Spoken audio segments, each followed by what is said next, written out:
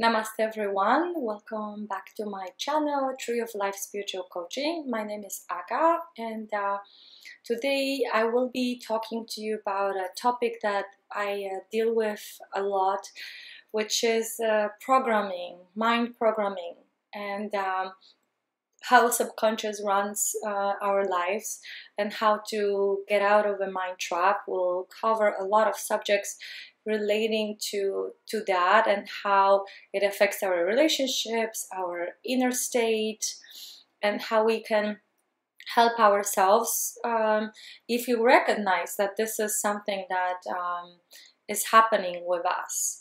Um, oftentimes you know i get clients uh, and i've been in this place myself several years ago where i felt like um, my behavior, the way I was reacting to things, was something that um, was almost like an algorithm, a formula. If something happened, I would react certain way. There would be a sensation, like an emotion, and I would react to an event in an emotional way, either positively or negatively. There was a definition inside of me about uh, what's positive, what's negative for me. So um, basically having uh, believed something that was true about me triggered a reaction. Oftentimes we have no idea that we believe in something. Um, we think consciously we support certain ideas, but at the core, um, in a subconscious space, which makes up 90% of, on average, of human thoughts, um, that's really where the belief system lays it's also you know in our dna in our bloodstream we're made of these cells and they are part of uh, um, makeup energetic makeup and dna makeup um, that runs in our ancestry line. So all of this information positive negative all the emotional reactions from our ancestors are all running in our systems and that's what I call programming. A lot of it we inherit um, you know when we're born and um, we pick up a lot more as we go through this life not knowing that we're being conditioned you know as kids we're very open we're uh, a lot of times in a theta state uh, theta th ETA state and this state of brain uh, waves is very open to learning. That's why kids uh, very fast from age 0 to 3 learn a lot of skills like languages extremely fast. Um, so what happens is um, in that early time of our life, we're getting conditioned um, by our parents, by our environment, and then later in life, these conditions are crystallizing and becoming sort of a, a map that we use in our mind to navigate through life. Um, and as I was saying in one of my previous uh, videos, the mind, the physical mind, um, really helps us recognizing patterns, analyzing the past. Um, it's good for acting let's say we gather information and then we want to act, uh, make a make something happen. That's what the mind is good for. Mind is a good, a physical mind is good um, executor, but it is not a very good advisor at all because it only shows you the um, highlights uh, based off of your belief systems, based off your based off of your emotional state. So if you only are looking at that particular angle, you're missing a lot of information that is around you. It's just vibrationally, you're not open to this state and you're not noticing something that is right in front of you. Um, that's why the physical mind is not very good um, advisor. And also when we're in emotional turmoil, um, there are heightened emotions, we should not be making any decisions because that is um, a result of direct trigger of something. Um, it's important that you start recognizing and observing your mind patterns and really start differentiating between emotions and feelings. Uh, emotion, like I said, is direct reaction to a belief system that you're holding inside of yourself and you and you um, consider it true. But uh, feeling is a more direct experience. You're feeling cold, you're feeling warm, you're feeling energized, you're feeling sad. Don't um, judge these feelings. Um, stay neutral. Um, these um, senses are important. They help us navigate through things. That's how you know our body is built. We have all these sensory abilities to recognize um, a basic um, way to stay safe, to you know connect with others, to connect with our body. But emotions are really just a result, like I said, of a belief system, of a programming that is running um, through your systems. And one of the biggest programs that uh, we are witnessing in our lives and everybody around us, um, if you observe what's going on in the world, is fear. So fear is one of the results of a belief system that you know we're separate, separate, and we need to protect ourselves from other people. That we're disconnected from other people. Um, that creates an illusion of fear and of being in jeopardy, being in danger. And what happens is we have this really strong reaction, adverse reaction towards things we don't know. Um, and we automatically categorize these things as something, you know, that uh, is dangerous, that um, we need to protect ourselves from. And fear, obviously, I'm sure a lot of you experiences on a daily basis. Heightened fear is anxiety. It can turn into depression, paranoia, psychosis, depending where you are. Um, I've been working with clients who are suffering from a lot of these symptoms, where their mind um, is really losing control over their being because they're going through a lot of ascension, ascension symptoms. They're awakening either because of um, an accident a dangerous situation um, near-death experience maybe some recreational drugs but what happens their pineal gland gets very stimulated and then they never come back fully to the uh, previous version of themselves. And because they don't have tools they don't know how to integrate this energy and how to balance everything out their mind is freaking out. Uh, all of a sudden the connection was made with people around and they feel telepathy they have this um, recognition that our thoughts our intentions are being sent like signals you know thousand times a day and they feel exposed um, so that can be one of the examples, you know, how the programming is affecting your life.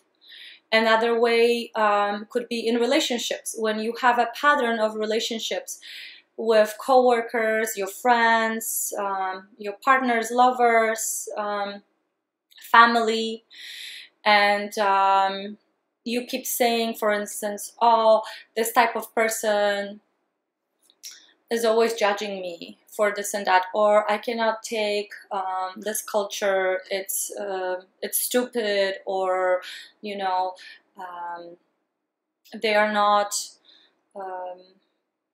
maybe as intelligent.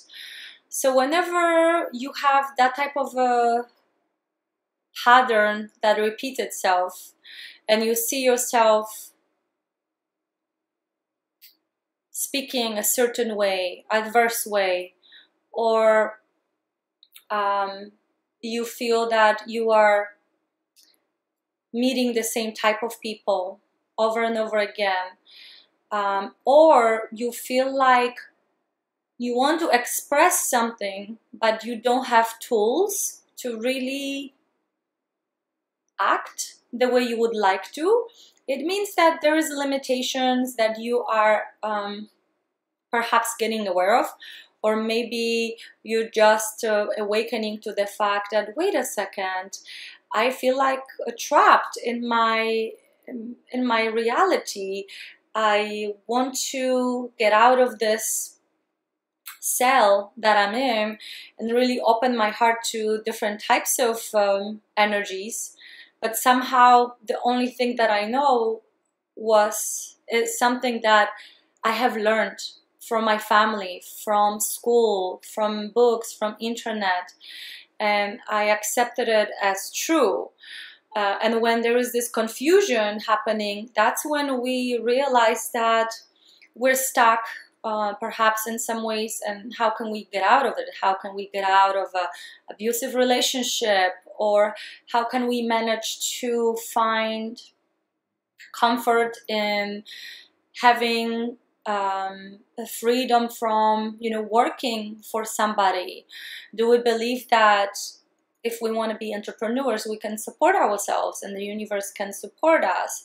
So all these things are, are creeping up and uh, it creates more confusion. And this is what what i wanted to you know go deeper into. Recognition is the first step and really observing your emotions and differentiating them from the feelings analyzing where they come from and what can i do to help myself. If you are a product of a western culture you are you know probably not very well equipped uh, with tools to deprogram yourself unless you're watching videos like this um, or you're doing lots of meditation, lots of detox, uh, body purification, really making sure that the information you're exposing yourself to is conscious and you avoid um, people, um, environments, uh, you know, internet information that is not supporting your growth. That's very, very vital that we start recognizing this and really understand that our mind is nothing but um, an operating system. And it, it, like in a computer, you know, we can download programs or we can allow the environment around us download things for us. And this way you know either way we're gonna function somehow. However if we want to take control over our lives it's very important that you consciously start removing the programming that are, is not serving you helping you evolve helping you live a happy life as soon as possible. Because you're very much in control of how you feel and how you create your reality in fact, nothing exists outside of, you know, the space within in your heart. Every experience, every thought, every emotion, everything that you are, you know, um, adding to your experience is absolutely happening inside. There is nothing, absolutely nothing that's happening outside uh, of your inner space. You created um, that environment within yourself and all you're seeing is a reflection. So um, that's uh, something to think of contemplate um, about. Um, if we are inner engineers and now we're awakening to that knowledge that um, you know i am equipped in fact in so many tools to program myself the way I want to, it becomes a, a, fascinating process. And I've been going through this process for five, six years right now. And I have to tell you, I wake up every morning happy, balanced. Of course, I have days when I may be more tired or um, I need to just follow my inner uh, balance, inner uh, compass. Uh, but I feel um, independent and I feel like I am a creator of my happiness. And how did I come to that to that place? Um, when you are recognizing that whatever you have accumulated in your life, as far as your belief systems, um, the way you see life, is not really giving you the results that you want and you're seeking new ways to um, enhance your life positively, that's when you realize that you know what you have learned is really not enough and it's time to to change. Um, for me that tool that i started with was meditation vipassana meditation. I uh, took a 10-day course that helped me start this process and come back to a full recovery of my memory, not just from this lifetime, but from all the coexisting lifetimes on different dimensions. And um, there are tools that you can use. There are breath uh, works, breath techniques. I talk about them in some of my other videos. Feel free to explore them. Cobra breath, double breathing exercise very good way is also yoga, dancing, whatever you can do to come to your physical space. That's the goal. Because, you know, 95 more, 96, 7% of, of people on this earth, they function entirely in their mind space and they identify entirely with it. So it's very hard for them, you know, when they have awakening to actually understand that you are not your mind and you don't have to listen to any of the thoughts. You don't have to be guided by your thoughts. Um, in fact, you have this powerful tool here, which is your heart, which is um, 500 times or even more um, electromagnetically charged and it's very very intelligent it sends signals to the mind all the time so there's always a communication happening it's just that we pay attention only to this and very little to that. So the process of awakening involves shifting your attention to the body.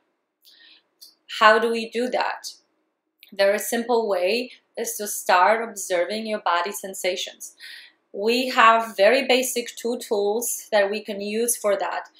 Your breath and your body. So this entry point below your nostril above your upper lip is the spot where you can concentrate on, observe in order to connect with the body. And when I do sessions with clients, you know, usually I do hour and a half sessions and first half an hour I work with my hands to put them in very relaxed state but we also do guided meditations and we start with connecting with that spot and observing you know how the air is passing through connecting to the body. And then we go really really deeply in the body because when you're in that state your mind is not active. You can access subconsciously the events um, that are triggering certain emotional reactions in your life and you can safely release them. There is a guided practice that i offer. But what you can do on your own as well is basically start connecting with your body. When you're eating don't have a book or tv or internet on just eat and concentrate on body sensations while you're eating. Um, once you get a little bit more familiar with that spot, you can start scanning your body up and down. That's a basic meditation you can do. And thoughts will, you know, exist. Uh, it's okay. Every time you lose track of um, the exercise, you just take a deeper breath and come back to the body and start over. It's very important not to judge what's happening. The mind, you know, produces 6,500 up to, I think, a little over 7,000 thoughts per day. So it's impossible in our state as of now to really follow all the, you know, um, how can I say it, like electric impulses that are connected with the thoughts.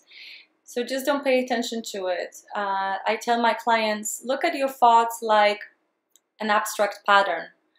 And don't just try to follow each pattern here and there. You're going to com get completely lost. Just focus on what's behind that, the stillness behind that.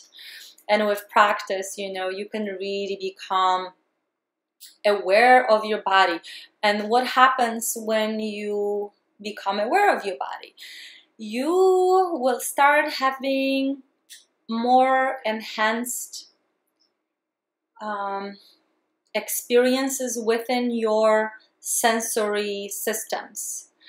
Um, your body will always tell you what it needs on many different levels, and you will start picking up on things intuitively um, you might start connecting telepathically with people through your dreams and in, uh, in this um, realm, which is also another dream state.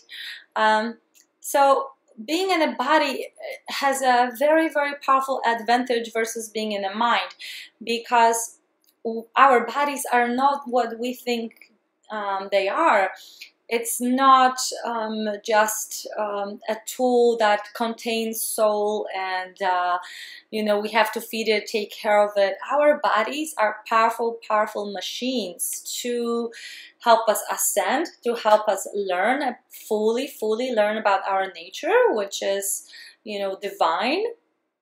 Um, and within your DNA, you have incredible amount of information that if you release um, the belief systems that you picked up on over your lifetime and you gently, gently come back to recognizing that you have this tool to work with, uh, in return, you'll start gaining very, very powerful um, superpowers, I can say.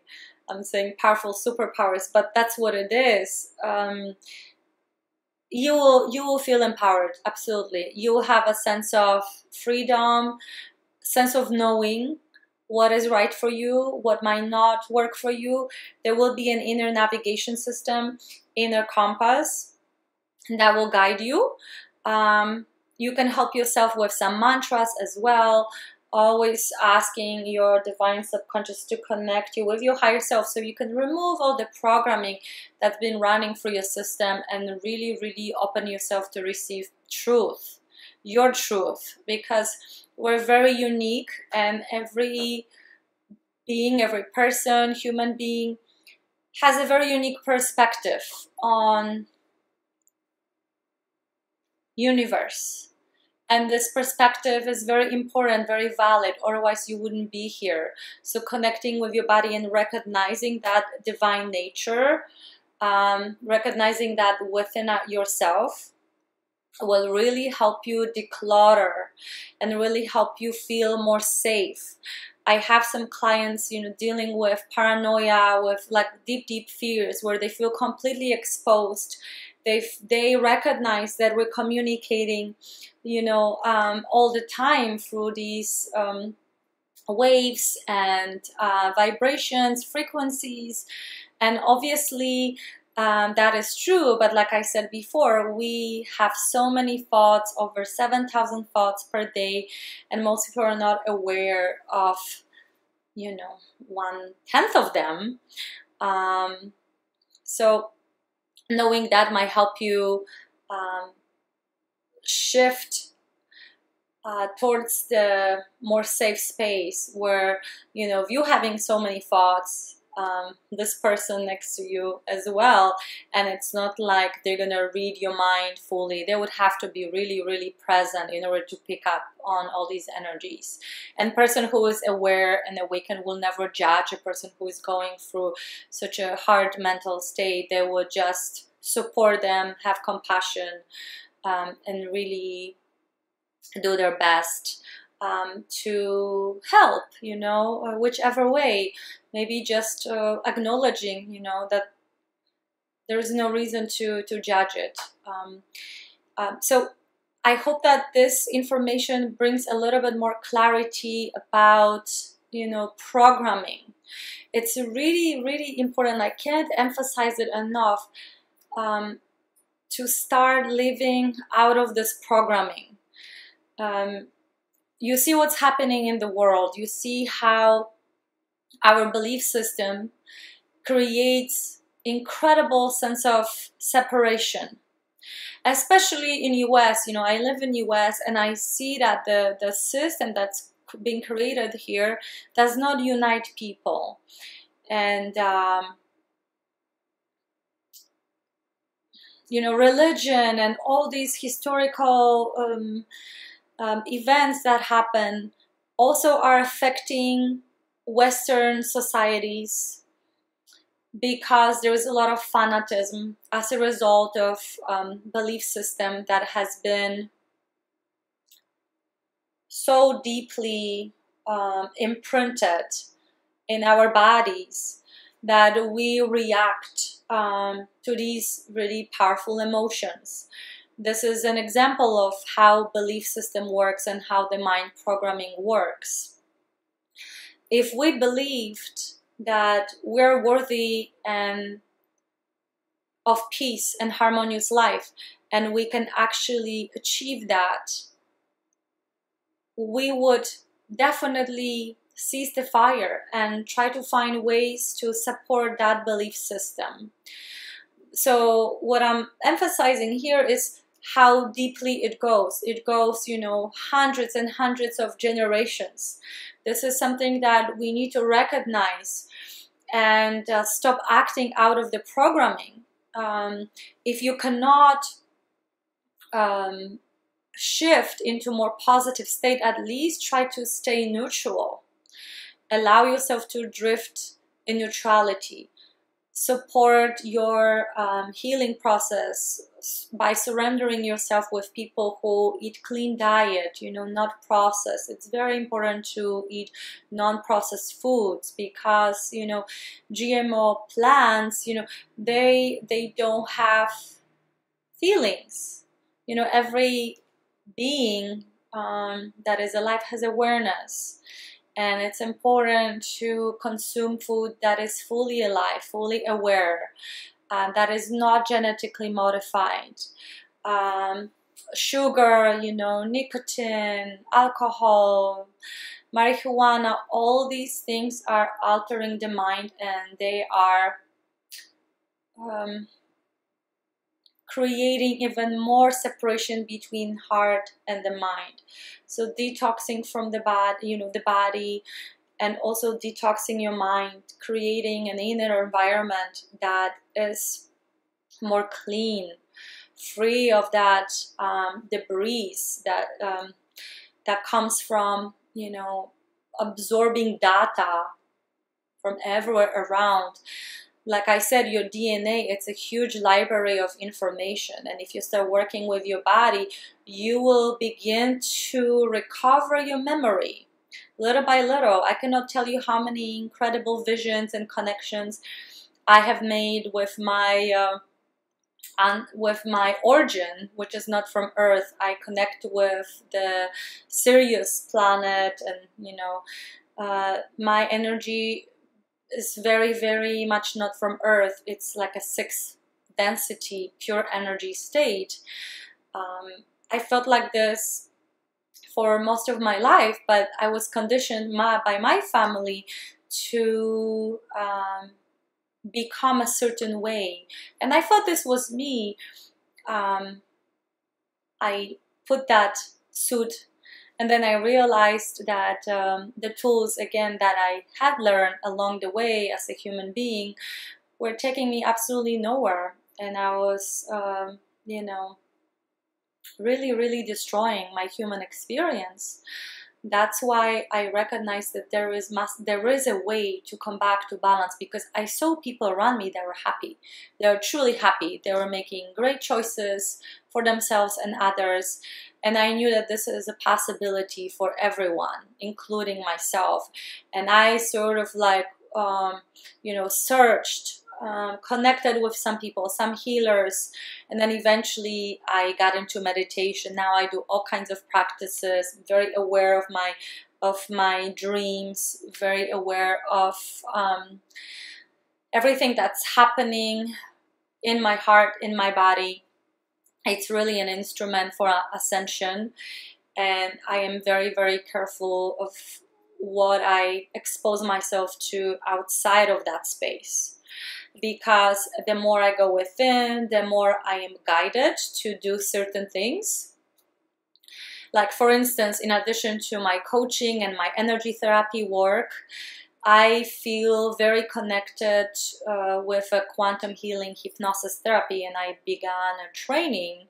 I will be certified in a couple of weeks, and I will be giving um, sessions to clients who would like to go into past life regressions and also tap into a quantum field where all the information is stored, right? Like we're energetic bodies and everything that is happening on many levels of consciousness, many different dimensions, is basically like in a different wave. Like if you have a radio and you tune into different frequencies. So when you're in a theta state, you can access that information. That's the state that you know toddlers have from zero to three and then for meditation we can go to that state as well and uh, when you are in the deep hypnosis state, not the regular one, but the quantum healing hypnosis uh, state, you are able to access your past lifetimes and also how these situations, experiences are affecting you right now. Because, you know, my focus is on healing.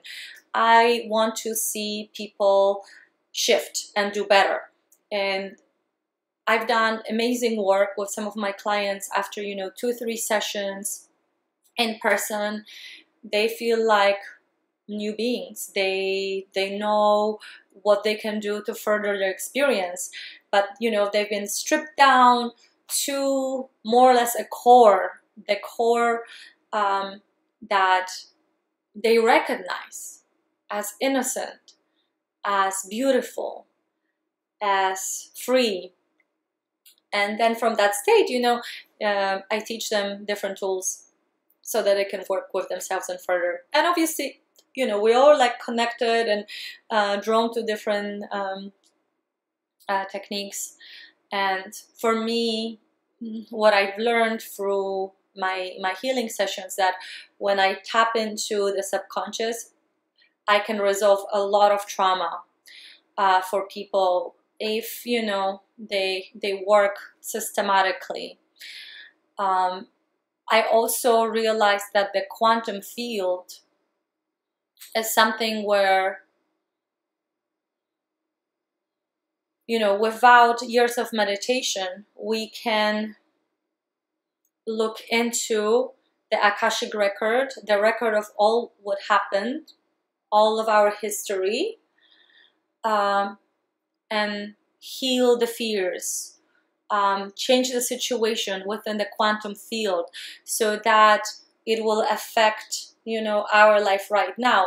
I don't know if you believe in that but if you're open to the idea of um, current lives or past lives um, you will probably realize sooner or later doing some inner work that everything that's happening right now um, the programs that are running your mind uh, in your mind are directly correlated with what has happened to you in many different levels of existence that you are not fully you know grasping at the moment because you don't have a memory of it.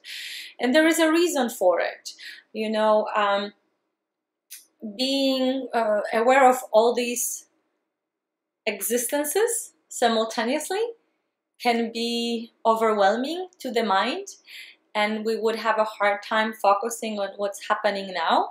But with these new techniques, um, we can actually tap into that record and we can, um, you know, adjust the frequencies, release certain energies, close certain chapters so that our experience here in this plane is more balanced I've seen amazing videos of people who have done sessions with quantum healing hypnosis techniques. I'm very excited to be offering it. I moved to Chicago for a few months. So if you're in Chicago, you would like to schedule a session, let me know. My website is called balanceisperfection.com. You can get more information about me. I'm going to be adding more blog posts, more testimonials from clients as I grow my uh, my online presence but um, I wanted to really really introduce you to that idea that you're not your mind You're not your thoughts at all.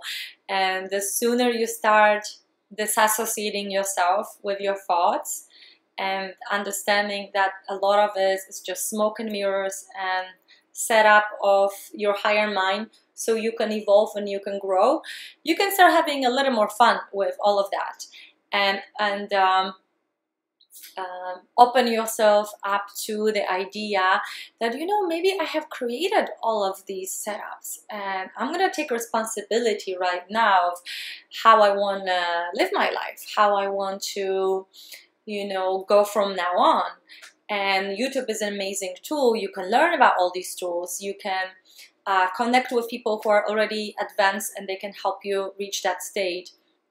So we live in amazing times where we have the information.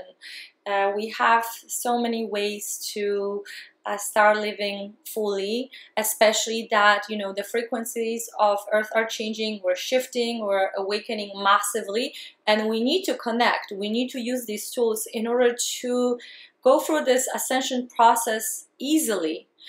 Um, it's very very important that if you have hard time that you connect with someone. You know it took me maybe longer that it could have taken me if i connected to more healers um, in person.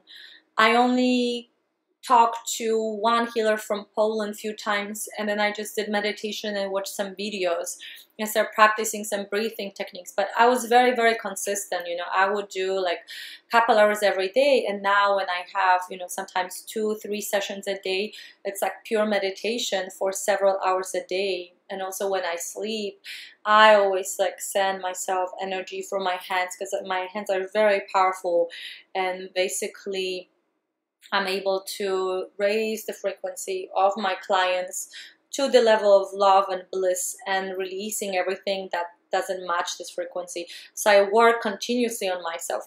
But I think that I probably could have gotten there faster if I have worked with someone.